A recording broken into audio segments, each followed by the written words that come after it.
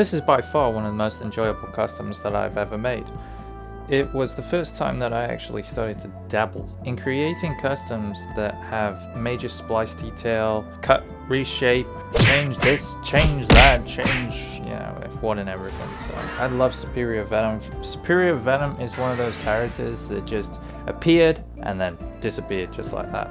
Part of the Superior Spider-Man mythos, man, that's that comic book is 10 out of 10 is an absolute awesome read. I love the take on Doc Ock entering the mind of Peter Parker, seemingly dead and then not dead, and then takes over his mind and all this sort of jazz. So, really cool, really cool idea, creative on Marvel's behalf, that's for sure. With the custom, it was definitely inspired by Craig Warwick's original design. There's no disputing that. You can see the influences, they're clear as day. His design was fantastic, so I pretty much ripped it off. Other than the head sculpt, I felt like Hasbro's head was pretty damn accurate. The backpack was black stuff, and it was created originally from absolutely nothing. I created the peg, which was the original peg for the Scorpion Venom, and I added wires to it, and I allowed the clipping mechanism via a mesh that then sewed all the articulation, like the legs, so it could come on and off. That was honestly mega difficult, but it just worked. I didn't expect it to, but it did. And it was really hardy.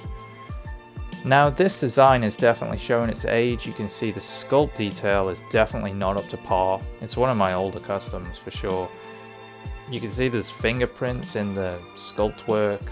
There's not blended down smooth areas. There's crispy bits here and there. The paint job is pretty nice. I will admit that I ended up using Monomaster's white, but then I added silver to it and it gave it like this crystal look. It, it looks really nice, it's really pretty. The final result on that, I went in and added the black, so I made everything nice and sharp. Yeah, the lines, they were silver again, inspired by Craig Warwick's design. One thing I wish I'd have done, now that I can reflect back on it, I know for sure that this design doesn't hold up. When I created it, I didn't realize that the spider legs from the Shelob are absolutely... They are terrible. But for the time, that's all we had. Unless you're going to manufacture your own joints. And, you know, if you put it in the modern era, if you manufacture your own joints, what the hell are you going to use? The McFarlane Spider? I hear that those are not durable. I hear that those will not hold the figure. This figure was quite heavy. It was a splice between Bucky Cap, Pizza Spider Mold, McGargan Venom, Piledriver. Gosh, there's there's so many parts. It was all just kind of smashed all together and Bob's your uncle, there you go.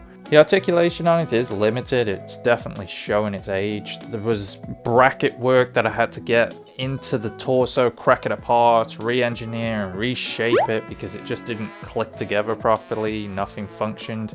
These are older parts. This is true customizing at its finest. You don't see this stuff anymore because everything can just be kit bashed together and you don't need to splice this, you don't need to do that because everything just kind of works, you know?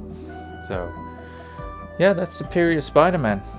Blast from the Past. Hope you enjoy these Blasts from the Past, by the way. They're fun to do. All I'm doing is kind of reworking them into a modern style.